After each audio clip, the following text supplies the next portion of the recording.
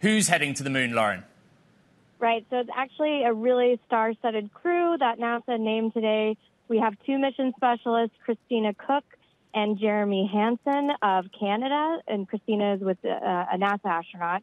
And then we have pilot Victor Glover and Commander Reid Wiseman. And just some notable things to point out about this crew Christina Koch will be the first woman to go to deep space, Victor Glover, the first person of color to go to deep space, and Jeremy will be the first non-American astronaut to go to deep space. So it's it's going to be a very historical mission for sure.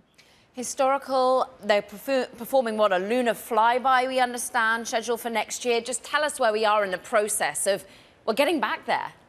Right. So uh, last year, I was at the Artemis 1 launch. So that was the very first mission, the main big mission in the Artemis program, which is to get back to the moon. And that one tested out the main flight hardware that will be sending humans into deep space. And now it's time to put people on that hardware. So now that, that that mission went well, we're going on to Artemis 2, and these four astronauts will ride inside NASA's Orion capsule on top of the massive SLS rocket, and that will take them around the moon and back to test it out ahead of the historical landing that will hopefully happen sometime this decade. Right now, it's scheduled for 2025.